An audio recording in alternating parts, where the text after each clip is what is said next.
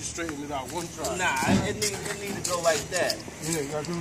Gotta put dirt in it. like that. Just give me some back. Gotta put dirt on the side. Then they got a bow on it. They got a bow on it. Yeah, crazy bow. Yeah, put some more and more, Donna. Some more. Right there. Yeah, that's gotta be. Yeah, right there. Yep, good, right good there. money. Good money right there.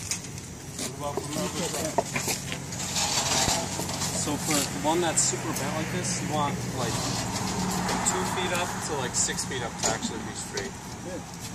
So it's. I think the top is still a little bit. You might want to bring it a little bit more to your. It's. Yeah. So that's what I'm Right, saying. like if it's that. bent like that, Like that. see how like this, the top is more actually over the bottom.